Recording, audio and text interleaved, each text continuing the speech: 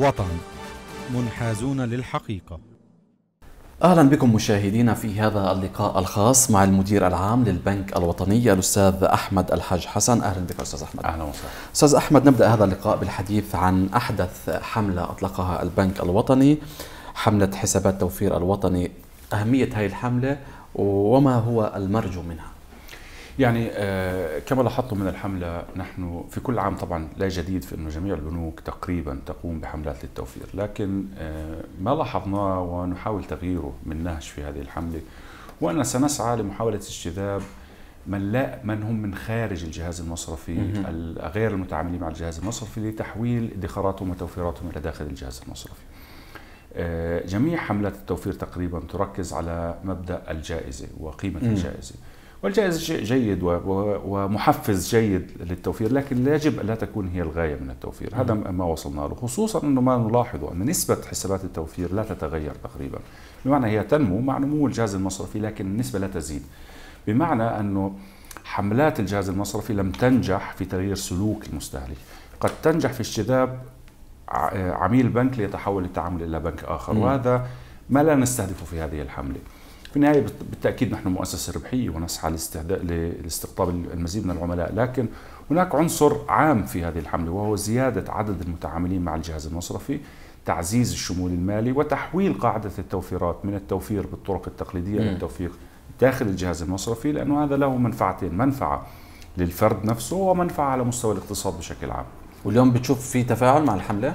يعني من المبكر ان نحكم عليها. هي تم إطلاقها من حوالي أسبوع لكن المؤشرات الأولية جيدة جدا ونعتقد إنه نحتاج أن نكون أكثر ابداعا في الوصول إلى الأشخاص اللي لا يتعاملون أصلا مع الجهاز المصرفي. أن نشرح لماذا هو هذا مهم.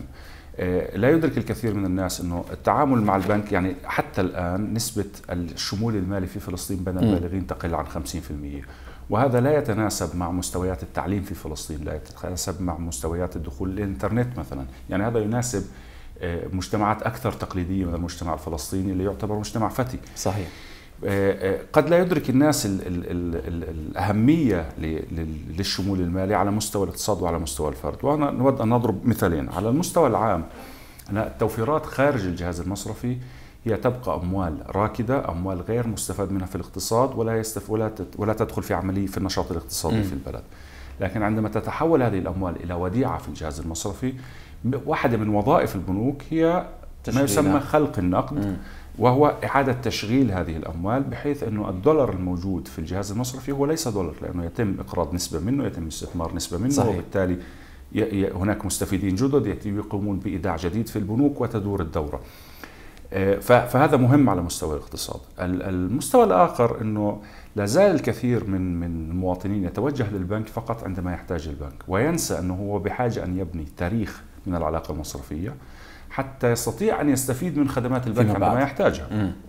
فنجد الكثيرين ممن آه، يقوم بإدارة أمواله خارج الجهاز المصرفي ثم يحتاج أن يكبر مشروعه مثلا فيتوجه للبنك صحيح. آه، ليحصل على قرض ويفاجأ بأنه البنك يحجم عن تمويله ببساطة أن البنك لا يعرف تاريخه لا يعرف دخله لا يعرف تدفقاته النقدية لا يعرف مستوى نجاحه في إدارة أعماله. لو كان يتعامل مع البنك أصلا كان بنى هذا التاريخ. آه الآن لماذا نتحدث عن حساب التوفير؟ لأنه حسابات التوفير بالعادة هي نقطة بداية علاقة العميل مع البنك. والحساب الأبسط والحساب الذي لا يتطلب فتحه حد أدنى من الأرصدة ولا يتطلب وجود أي عمولات. بمعنى هو حساب مجاني بالمطلق. فأنت عندما تبدأ تبني علاقتك مع البنك من هذا الحساب لمن يتخوف تطويرها فيما بعد صحيح. طبعا وخصوصا أنه لا يتطلب الكثير من الأوراق أو المستندات ولا يتطلب دفع أي تكاليف عليه. في تصريح سابق لك مع الصحفيين قبل نحو أسبوع تحدثت بأن كل دولار يدخل البنوك يتضاعف ويضخ في الاقتصاد الوطني، ماذا كنت تعني بذلك؟ هو ما كنت اشرحه قبل قليل، آلية خلق النقد وهي آلية معروفة للاقتصاديين. الدولار عندما يودع في البنك م.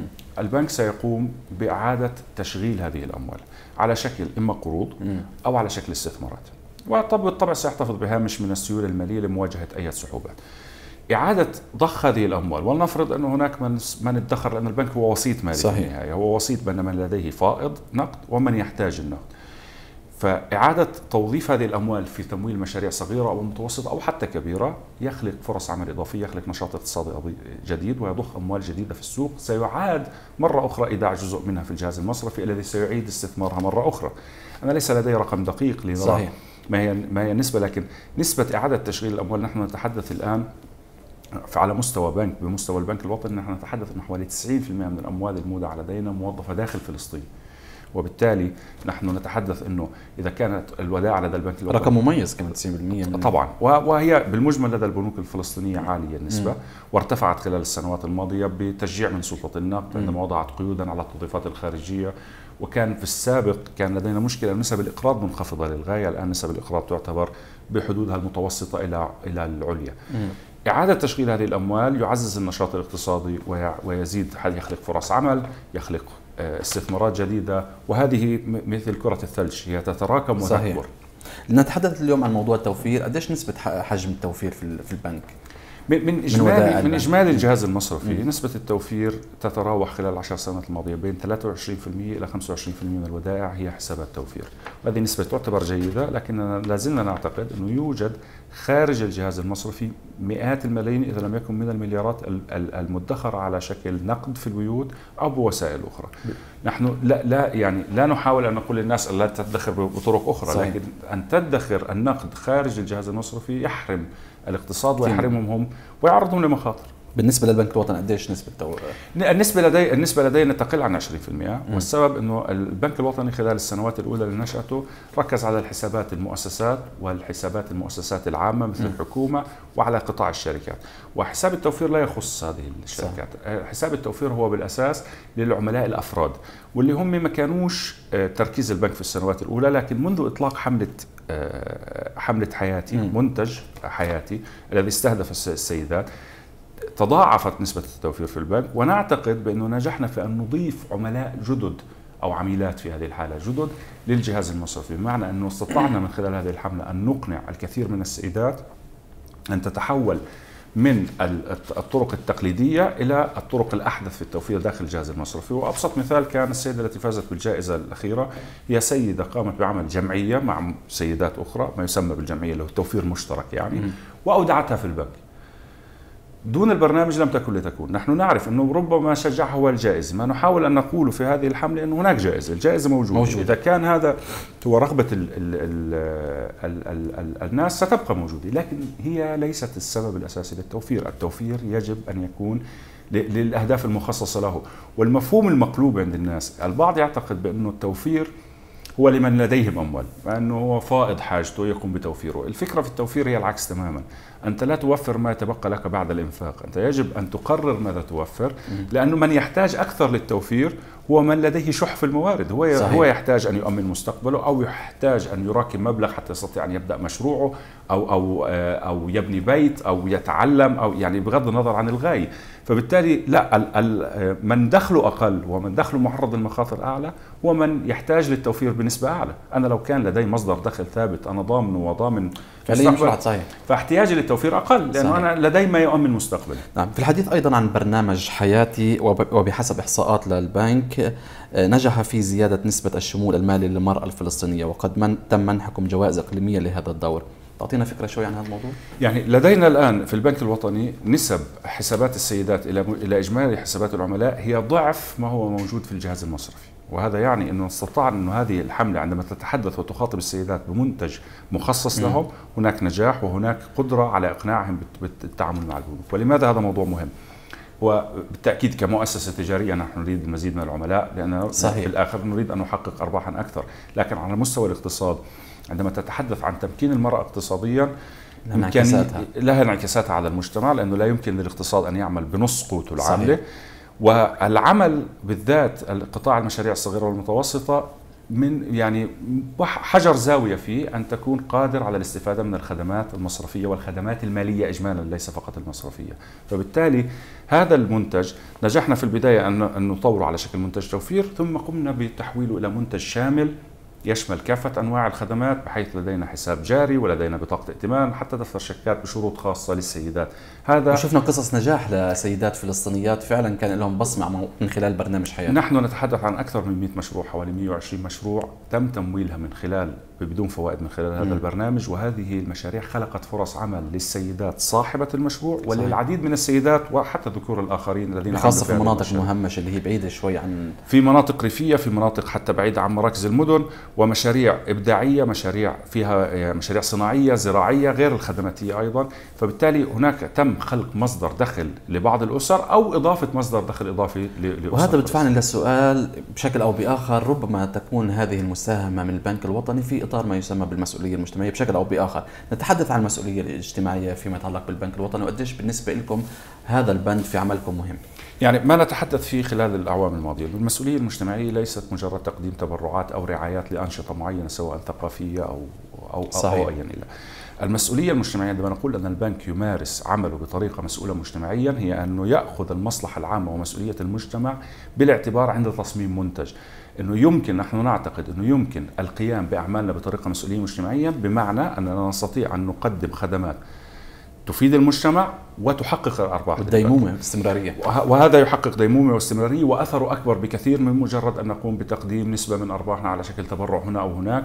على الأغلب هي تدخلات. إما تأخذ شكل التدخل الإغاثي بمعنى إنه يعني هناك ظرف طارئ ونقوم ولا يحل المشكلة لكن يحقق مساعدة قصيرة الأجل وقصيرة التأثير.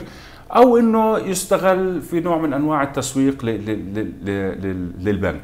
وهذا وهذا ممكن ومن حق كثير من المؤسسات أن تعمله لكن ما هو اثره طويل الأجل هو أن نغير في طريقة قيامنا بأعمالنا لتتناسب مع احتياجات المجتمع المحلي. اليوم نحكي كمان إنه البنك الوطني لا زال هو البنك الأسرع نموا في فلسطين نحكي عن هاي النقطة وشوي عن معايير إنه شو يعني الأسرع نموا في فلسطين، كيف يتم آه، تقييم هذا الاتجاه؟ نسب نمو في الجهاز المصرفي بالعادة تقاس إما بنسبة نمو الأصول أو بنسبه نمو الودائع بشكل أساسي، يعني هاي المعيارين الأكثر استخداما والأكثر شيوعا، وعندما كنا نقول إنه البنك الوطني كان الأسرع نموا لأنه هناك جهات متخصصه تنظر إلى نسب النمو في الجهاز المصرفي وترى ذلك في البنك الوطني، في هذا العام العام هو عام مميز للبنك الوطني لأنه تميز بأنه قمنا خلال الربع الأول باستكمال صفقة الاستحواذ على حصة مؤثرة أو حصة سيطرة في البنك الإسلامي الفلسطيني وبالتالي تضاعفت الميزانية المجمعة للبنك الوطني تقريبا إلى الضعف في كل شيء. نحن نتحدث الآن عن أصول تتجاوز 2.2 مليار دولار. نتحدث عن قاعدة ودائع تتجاوز ال 1.6 مليار دولار. فنحن نتحدث عن مجموعة مصرفية كبيرة تشكل الآن ثاني أكبر بنك فلسطيني وثالث أكبر بنك عامل آه، في فلسطين. هذا يجعلنا مؤسسة أقوى الآن. لدينا تنوع أكبر في الخدمات لدينا تنوع أكبر جغرافيا. نحن سابقا في البنك الوطني كنا نمارس نشاطنا فقط في الضفة الغربية نظرا للظروف في غزة. بنكنا الشريك الآن هو أحد البنوك الرائدة في غزة فبالتالي نحن نغطي شطري الوطن ونوفر خدمات بالنوعين خدمات المصرفية التقليدية. زائد من خلال الإسلام الفلسطيني توفر الخدمات المتوافقة مع أحكام الشريعة وبالتالي نحن نحقق تغطية أوسع للمجتمع الفلسطيني. في تحديات اليوم عم بتواجهكم كقطاع مصرفي كبنك وطني؟ يعني هناك تحديات بشكل مستمر. يعني نحن نعرف حجم المشاكل التي تواجه الاقتصاد الفلسطيني التحديات المتعلقة بالانقسام بالاحتلال بالظروف القانونية بالإضافة إلى كل التحديات التي تواجهها الدول النامية. آه، الوضع الاقتصادي في قطاع غزة هذا العام كان أحد الضواغط على على الاقتصاد بشكل عام. زائد إنه بدأنا نلمس هناك يعني بعض المؤشرات التي تشير إلى ارتفاع مستوى المخاطر في بيئة العمل المصرفي في فلسطين. آه، تم الحديث كثيرا عن نسبة الشيكات الراجعة. صحيح. آه، أعتقد إنه هذه قد تنعكس لاحقا حتى على نسب التعثر آه، لقطاع الأعمال.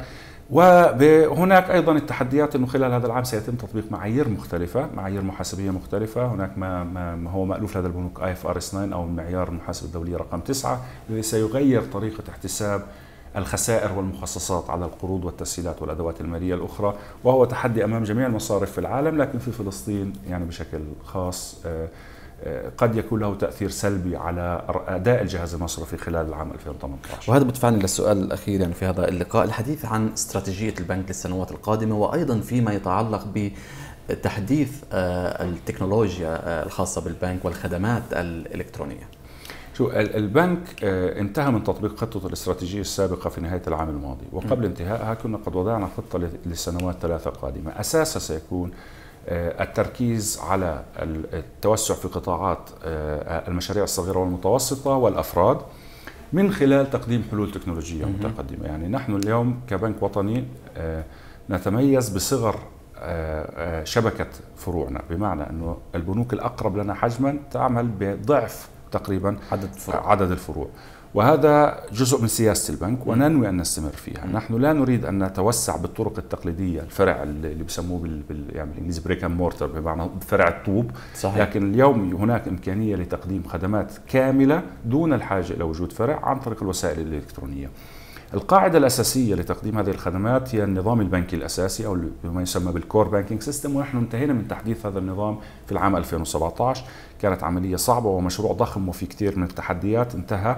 والآن نحن جاهزون لننطلق إلى تقديم خدمات أحدث ومتنوعة أكثر. منها مثلا في نهاية العام الماضي نحن بدأنا بتقديم بإنشاء مركز خدمات رقمي بمعنى أن أنت تستطيع أن تتواصل مع البنك من خلال الواتساب أو الفيسبوك أو أي وسيلة من وسائل التواصل الاجتماعي. ستستطيع تنفيذ استعلامات ولاحقا ستنفيذ ستستطيع تنفيذ عمليات على حسابك دون الحاجة الوصول إلى الوصول البنك. ودون الحاجة للالتزام بساعات الدوام المصرفي. نعم مدير عام البنك الوطني الأستاذ أحمد الحاج حسن شكرا لك على هذه المشاركة. شكرا. إلى هنا نصل مشاهدينا إلى نهاية هذا اللقاء الخاص. دمتم برعاية الله وإلى وطن. منحازون للحقيقة.